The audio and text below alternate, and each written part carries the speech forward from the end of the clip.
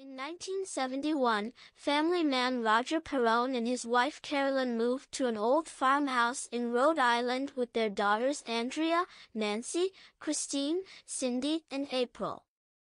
The family finds a hidden basement which the entrance is locked with planks.